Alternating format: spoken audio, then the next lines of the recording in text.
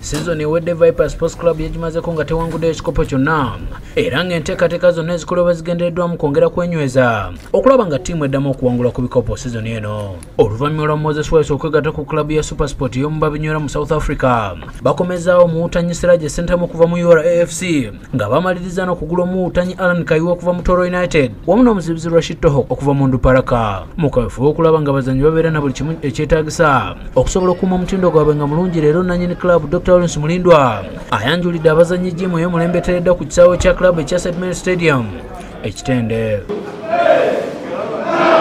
Jimu eno ereetereddwamu ebyuma ebyenjawulo ebiri ku mutindo. Era nga mu kugigulawo neyeri costa wa klabu eno faruk mia nga kati azanya gwa professional mu klabu ya hnk gorika ey'ekibinja ky'ababinywera mu croatia naye abaddewo.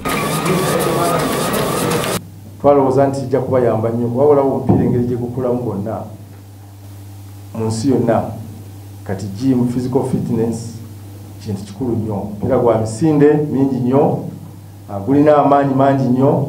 Kyobalaba abazanyi nga baronaldo basobodde okusigala ku mulembe kubanga ndoza bakola nnyo. Tikyetagisa kikilwaki twasobodde okukola gym?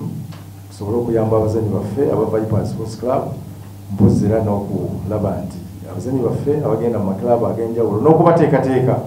Kuba abazanyi twagala bakome mu vipers wokka naye twagala bagende for professional tuba marketinge ne tuyinza kumarketinga muzanyi nga tali exposed ku facilities ngaeyo waba natuuka ebweru era ajja kulema. Ku myaka 13 survivor sports club gye yakamala mu liigi ya super esobodde okuwangula ekopo ebyawano ebyamaanyi bina nga kuliko ebya liigi bisatu mu 210 215 ne 218 mu 216 era vipers yawangula ekikopo kya league cup okwongera ku bya liigi ebisatu